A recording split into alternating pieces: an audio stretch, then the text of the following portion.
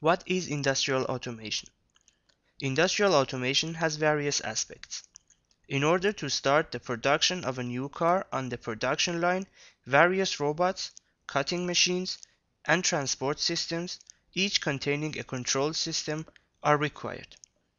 Actuators must be synchronized, welding heads need to be positioned, and robots have to be controlled.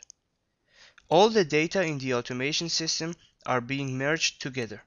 Modern process control systems, development, and diagnostic tools provide access to all data for the users or the technicians. Communication systems assure a flawless information exchange between sensors, control units, and actuators within a working unit and or between the working units themselves. To have the production up and running, many computers, control units, and intelligence sensors must work together.